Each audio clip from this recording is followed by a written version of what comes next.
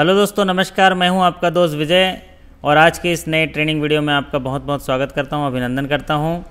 उम्मीद करता हूँ कि आप सभी लोगों की तैयारी बहुत ज़बरदस्त चल रही होगी, शानदार तरीके से चल रही होगी। आज मैं एक ट्रेनिंग वीडियो लेके आया हूँ जो रिलेटेड है मेमोरी रिकॉर्ड क्वेश्चन, जो मेमोरी कलेक्टेड क्वेश्चन है, जो कल ही 19 जनवरी 2020 को skill one two, skill two के एग्जामिनेशन में आया था, जो उत्तर बिहार ग्रामीण बैंक का।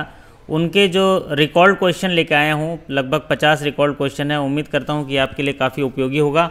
और आपको समझ में आएगा कि अभी IBPS किस तरह के सवाल सेट कर रहे हैं। ये जो सवाल भेजे हैं, हमारे एक सब्सक्राइबर साथी हैं, जो शैलेश कुमार जी जो उत्तर बिहार ग्रामीण बैंक में काम करते हैं, उनको बहुत बहुत साधुवाद, धन्यवाद कि उनकी बदौलत ये सवाल जो है हमारे साथियों को भी मिल रहा है।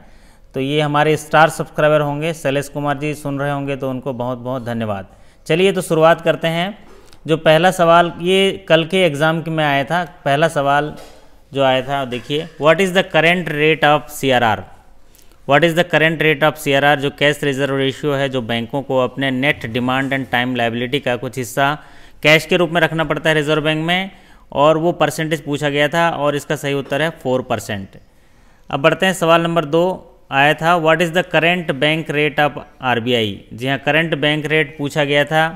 वो आरबीआई का जो बैंकों को लोन में मिलता है, वो है 5.4 percent five percent five point four zero percent जिस दर पे बैंक जो आरबीआई है, बैंकों को देती है loan five point four percent आज की तारीख पर ये जो बैंक रेट है 5.65 है तो आप देख लेंगे क्योंकि ये जो सवाल है, पहले का आया हुआ है। चलिए बढ़ते हैं। सवाल नंबर तीन आपके स्क्रीन पर कुछ इस प्रकार है। What is the guarantee cover under C G T M S C for loan above rupees five lakh to fifty lakh for women category यहाँ पर गारंटी कवर पूछा गया है कि कितने रुपए के लोन तक गारंटी कवर करेगा और कितना परसेंटेज करेगा। पाँच लाख से पचास लाख के बीच वुमेन कैटेगरी में स्पेशल कैटेगरी में पूछा गया है। तो इसमें सही उत्तर है eighty percent of default amount subject to the maximum 40 lakhs जी हाँ eighty percent of default amount subject to the maximum 40 lakh चलिए बढ़ते हैं। सवाल नंबर चार आपके स्क्रीन पर कुछ इस प्रकार है। What is the second dose loan amount in an second dose N R L M का पूछा गया है, कितना है? जी हाँ ये है आठ eight times of existing corpus जिसको सेविंग प्लस रिवॉल्विंग फंड बोलते हैं कॉर्पस को, या मिनिमम टू लैख तो फ़र्स्ट डोज एक लाख का होता है सेकंड डोज दो लाख का होता है थर्ड डोज तीन लाख का होता है फोर्थ डोज पाँच लाख से दस लाख का होता है। तो ये सही उत्तर होगा eight times of existing corpus है मिनिमम दो लाख।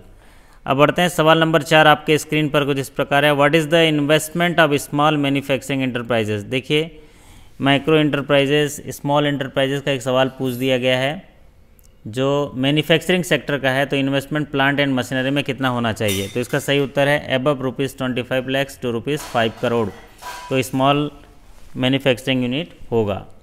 चलिए बढ़ते हैं सवाल नंबर पाँच आपके स्क्रीन पर, कुछ इस प्रकार है। What is the ratio of interest subsidy under N R L M from central government and state government N R L M में जो इंटरेस्ट सब्सिडी दी जाती है, उसका रेशियो क्या है? किस आधार पर? सेंट्रल गवर्नमेंट से कितना मिलता है? स्टेट गवर्नमेंट से। तो उनका रेशियो है सिक्सटी रेशियो फोर्टी का है। सिक्सटी परसेंट जो है सेंट्रल गवर्नमेंट देती है फोर्टी परसेंट जो स्टेट गवर्नमेंट देती है।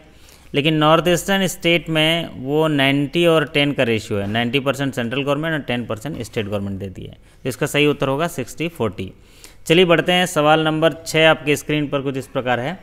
सवाल नंबर छः T D S deducted during October to December what is the date of form 16 T D S deduct हुआ है अक्टूबर टू दिसंबर और उसका फॉर्म 16 जो है, वो कब इशू होगा, इसकी तारीख कब होगी? तो इस क्वार्टर का जो दिया गया अक्टूबर टू दिसंबर, इसका जो फॉर्म 16 होगा 15 मार्च को इशू होगा, उसका डेट होगा 15 मार्च।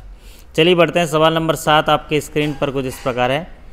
If a deposit account is not operated for years how many years it will be in operative account देखिए, कितना सरल सा सवाल पूछ दिया कि एक डिपॉजिट अकाउंट जिसमें करेंट सेविंग अकाउंट जिसमें लगातार कितने सालों तक लेन देन नहीं हो रहा है, ना क्रेडिट ना डिपॉजिट तो इन ऑपरेट होगा। सही उत्तर है, दो साल तक। जी हाँ दो साल का पीरियड में अगर कोई भी लेन देन नहीं हुआ तो इन ऑपरेटिव होगा। चलिए बढ़ते हैं सवाल नंबर आठ पे। Senior citizen fifteen H requirement PAN card के साथ कितना इनकम के ऊपर लगता है? तो सीनियर सिटीजन के केस में फिफ्टीन एच लगता है। और ये कब जमा करना होता है, इनकम क्राइटेरिया क्या है इनके लिए, टैक्स का तो इनकम क्राइटेरिया है rupees five lakh and above तो पाँच लाख से ऊपर होता है तो इनको फिफ्टीन एच रिक्वायरमेंट लगता है। जी हाँ दोस्तों, हम लोग चर्चा कर रहे हैं उत्तर बिहार ग्रामीण बैंक की, जो कल एग्ज़ाम हुआ था 19 जनवरी 2020 को, उसमें जो मेमोरी कलेक्टेड क्वेश्चन है उसके बारे में चर्चा कर रहे हैं। चलिए बढ़ते हैं, सवाल नंबर नौ आपके स्क्रीन पर कुछ इस प्रकार है। If current liability of firm is rupees eighteen lakhs net working capital is rupees twelve lakhs then what is the current asset जी हाँ यहाँ पर दिया है current liability 18 lakh net working capital 12 lakh और करंट एसेट पूछा गया है। जी हाँ आपको याद रखना होगा नेटवर्किंग कैपिटल का जो फार्मूला है, वो है current asset minus current liability अब वर्किंग कैपिटल दिया बारह और लाइबिलिटी दिया है अट्ठारह तो दोनों को जोड़ देंगे तो थर्टी थर्टी हो जाएगा करंट एसेट तो इसका उत्तर होगा थर्टी लैक्स चलिए बढ़ते हैं सवाल नंबर दस पे। Penalty on non issuance of coin over the counter to any member of public despite having stock मतलब काउंटर पे किसी भी पब्लिक को कॉइन देने से मना करना जबकि स्टॉक है तो उसमें पेनल्टी कितनी है? और इसका सही उत्तर होगा टेन थाउज़ेंड जी हाँ इसका सही उत्तर है टेन थाउज़ेंड चलिए बढ़ते हैं सवाल नंबर ग्यारह। आपके स्क्रीन पर कुछ इस प्रकार है। T D S threshold for interest earn on bank and post office deposit of rupees T D S जो है, कितने रुपए तक के ब्याज अर्न करना है एक फाइनेंशियल ईयर तो उसका थ्रेशोल्ड लिमिट क्या है? उसके ऊपर ब्याज लगता है। और इसका उत्तर है रुपीज़ फोर्टी थाउज़ेंड जी हाँ रुपीज़ फोर्टी थाउज़ेंड सवाल नंबर बारह आया था। देखिए, मुद्रा से सवाल आया था। Loan under Mudra Kishor category loan अंदर अंडर मुद्रा किशोर कैटेगरी तो ये अभी प्राय सवाल में सवाल आ रहे हैं। मुद्रा से रिलेटेड एक सवाल ज़रूर आ रहे हैं। तो इसका उत्तर होगा पचास हज़ार एक से लेके पाँच लाख तक। Rupees fifty thousand one rupee to five lakhs जी हम मुद्रा तीन कैटेगरी में करते हैं। Up to fifty thousand Shishu category up to fifty above fifty thousand to five lakh Kishor category and above five lakh to ten lakh Tarun category तो चलिए बढ़ते हैं सवाल नंबर तेरह। स्क्रीन पर आपके पास इस प्रकार है। What is the eligibility criteria for revolving fund under N R L M to S H G N R L M में S H G women S H G को फाइनेंस किया जाता है। इसमें रिवॉल्विंग फंड जो capital subsidy के तौर पे मिलता है रिवॉल्विंग फंड बोलते हैं। डायरेक्ट उनको कैपिटल सब्सिडी तो नहीं है ये, लेकिन रिवॉल्विंग फंड है। उनके कॉर्पस में जाके जमा हो जाता है उनके अकाउंट में। तो ये कब मिलता है? और इसका सही उत्तर है S S G in existence of three to six month and observe five rule S S G जो तीन महीना उसको बने हुए हो जाना चाहिए, तीन से छः महीना के हो जाए तो उसको रिवॉल्विंग फंड मिलता है।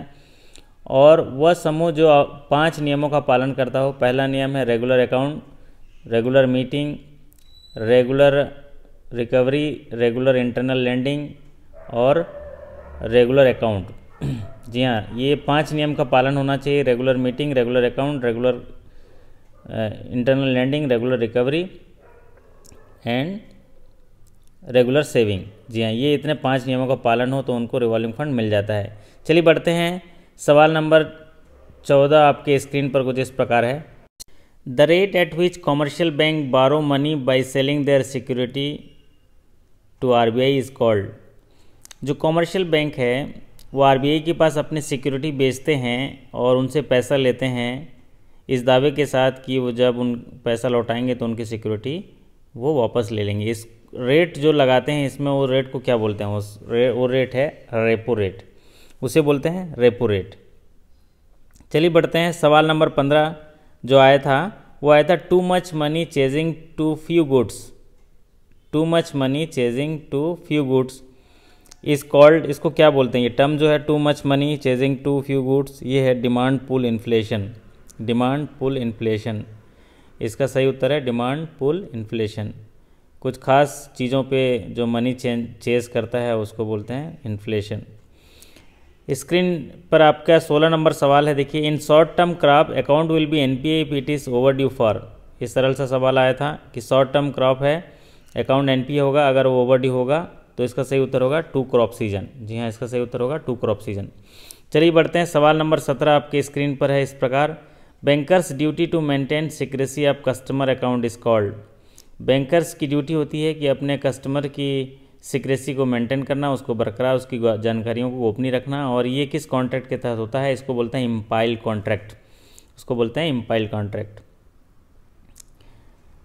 too much money chasing too few goods is demand pull inflation ये रिपीट हो गया क्वेश्चन चलिए, अगला 19 नंबर जो क्वेश्चन आया था, वो देख लीजिए। Interest subsidies available in NRLM finance NRLM finance में इंटरेस्ट सब्सिडी मिलती है loan up to three lakhs at the rate of seven percent interest जब ये फैसिलिटी तीन लाख तक होती है तो इंटरेस्ट सबवेंशन मिलती है। और जो difference amount charge by the bank is paid by government which is maximum 5.50 percent तो ये इसका सही उत्तर होगा loan up to three lakhs चलिए बढ़ते हैं, सवाल नंबर 20 जो आया था, उत्तर बिहार ग्रामीण बैंक के कल के प्रमोशन एग्ज़ाम में, कि what is the main objective of S S का मेन ऑब्जेक्टिव क्या है? तो उसका सही उत्तर होगा to develop saving habit and mutual cooperation to develop saving habits and mutual cooperation सवाल नंबर 21 आया था what is the objective of financial inclusion financial inclusion का ऑब्जेक्टिव क्या है? जी हाँ फाइनेंशियल इंक्लूजन का ऑब्जेक्टिव पूछा था और इसका सरल सा उत्तर है कि वो आखिरी बंदे तक फाइनेंशियल सर्विसेज़ उसको आसानी से पहुँचाने के लिए, उसी कम से कम दर से पहुँचाने के लिए इसको बोलते हैं financial inclusion individual and businesses have access to useful and affordable financial product and services that meet their needs to the general public जी हाँ बढ़ते हैं सवाल नंबर 22 आपके स्क्रीन पर है interest subsidy is available in NRLM finance ये interest subsidy ये भी क्वेश्चन रिपीट हो गया. Loan up to three lakhs है at the rate of seven seven percent interest चलिए बढ़ते हैं सवाल नंबर तेईस आपके स्क्रीन पर कुछ इस प्रकार है. The ratio of operating income available to dept servicing for interest principal for term loan उस रेशियो को क्या बोलते हैं, जिसमें वो ऑपरेटिंग इनकम निकालते हैं, जो डेप्ट सर्विस करने के लिए इंटरेस्ट प्रिंसिपल किसी भी टर्म लोन का पटाने के लिए ऑपरेटिंग इनकम को वाइबिलिटी दिखाता है, उस रेशियो को क्या बोलते हैं, उसको बोलते हैं डेप्ट सर्विस कवरेज रेशियो उसको बोलते हैं डेप्ट सर्विस कवरेज रेशियो चलिए बढ़ते हैं, सवाल नंबर 24 आपके स्क्रीन पर इस प्रकार है। How many witness require for nomination registration अगर आपके यहाँ कोई खाता खोलता है और नॉमिनेशन दर्ज करना चाहता है तो कितने विटनेस चाहिए?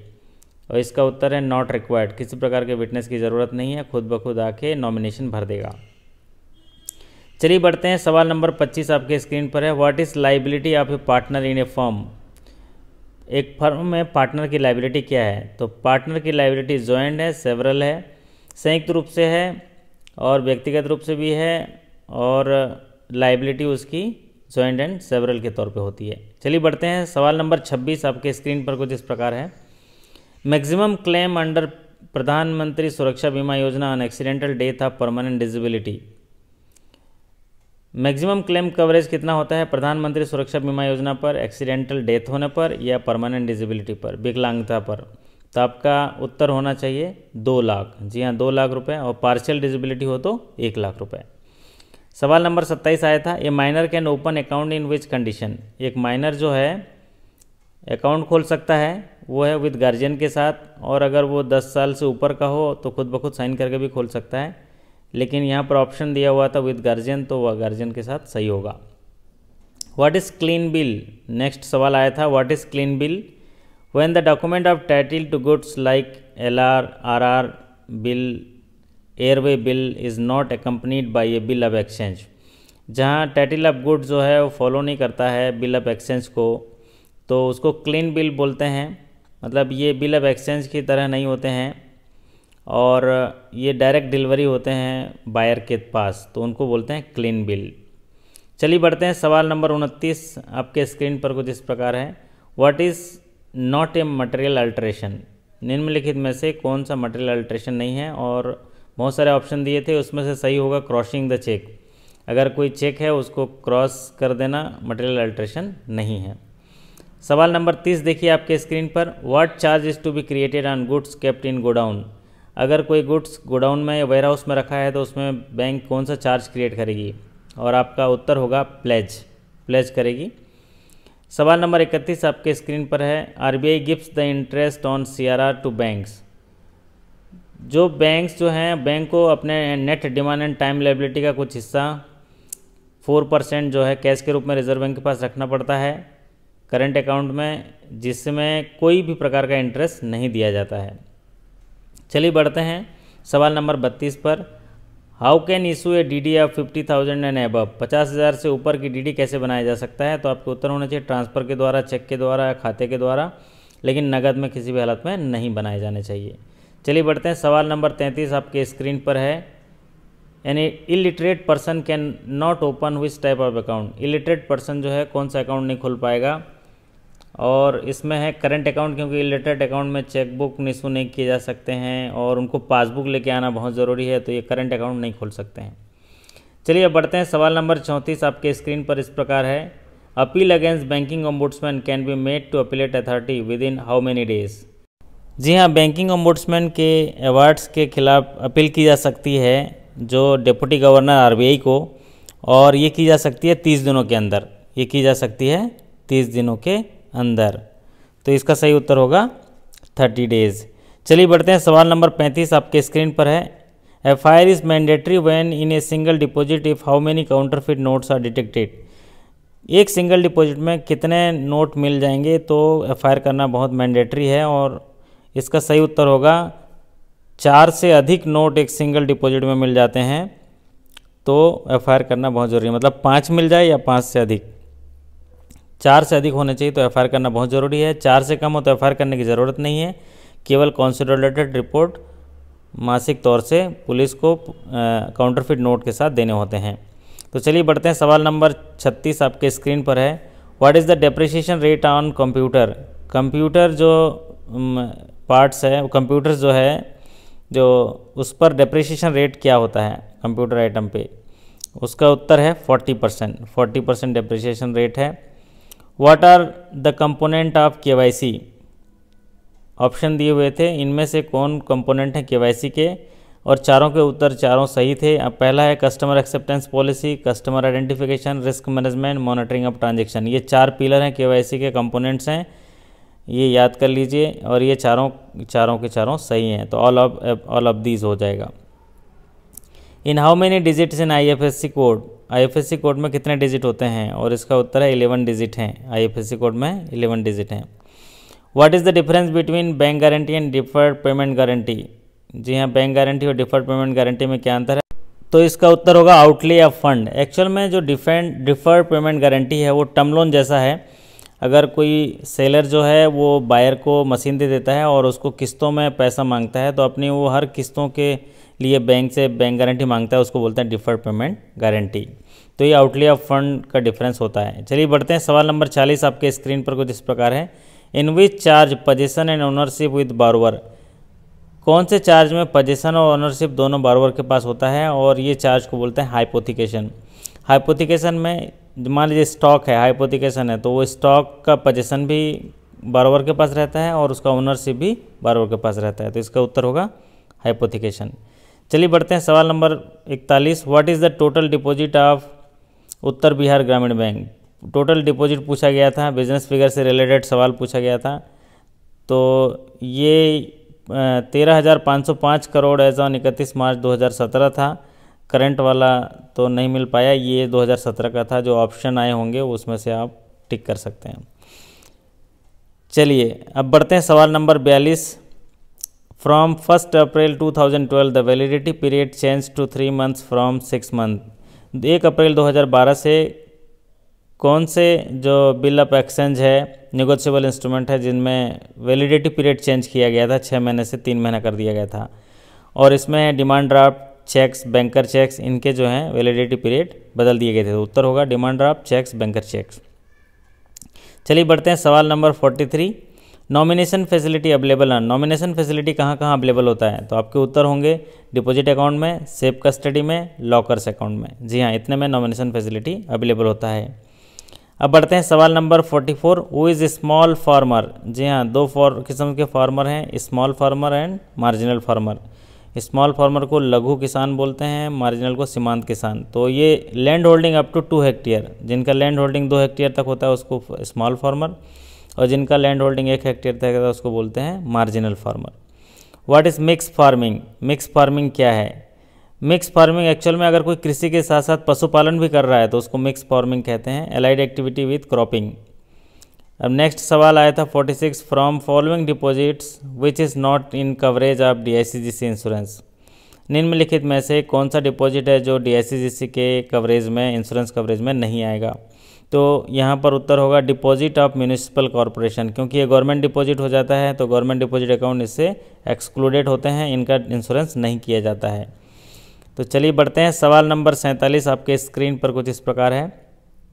In agriculture loan if damage is above fifty percent then how many years it can be change into term loan अगर एग्रीकल्चर लोन में डैमेज हो जाता है एग्रीकल्चर क्रॉप में डैमेज हो जाता है कितने से 50 परसेंट से ज़्यादा तो वो कितने साल में टर्म लोन में परिवर्तन होता है?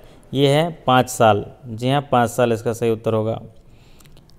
अगला सवाल इसी से रिलेटेड है how much loss due to natural calamity then it can be change into term loan? अगर नेचुरल कैलामिटी से कितने परसेंट का लॉस होता है तो इसको टर्म लोन में बदला जाता है और इसका उत्तर है thirty three percent of crop loss अगर थर्टी थ्री परसेंट से ज़्यादा क्रॉप लॉस हो जाता है तो उसको टर्म लोन में कन्वर्ट किया जा सकता है।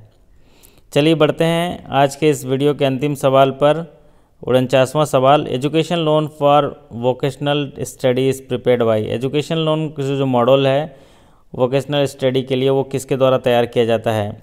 और आपका उत्तर होगा आई बी ए आई बी ए के द्वारा तैयार किया जाता है इंडियन बैंकिंग एसोसिएशन चलिए, ये थे कुछ चुनिंदा सवाल जो उत्तर बिहार ग्रामीण बैंक के कल के 19 जनवरी 2020 के एग्ज़ाम में आए थे। बहुत ही सरल सवाल थे। देखिए 50 सवाल तो एकदम सरल हैं जो मेमोरी कलेक्टेड क्वेश्चन आए हुए हैं। अगर किसी ने अच्छे से किया होगा तो ये पूरा कर लिया होगा। एक बार पुनः धन्यवाद ये सवाल भेजने के लिए, शैलेश कुमार जी का, उत्तर बिहार ग्रामीण बैंक से। और दोस्तों, मैं आप सभी को बहुत सारी शुभकामनाएँ देता हूँ आगे आने वाले एग्ज़ाम के लिए और इन पंक्तियों से आपका हौसला अफजाई करता हूँ कि मुश्किलों से भाग जाना आसान होता है, हर पहलू ज़िंदगी का इम्तहान होता है। डरने वालों को मिलता नहीं कुछ ज़िंदगी में, लड़ने वालों के कदमों में पूरा जहान होता है, पूरा जहान होता है और सफलता पाके जो मुस्कुराए, वही इंसान इस धरती पर महान होता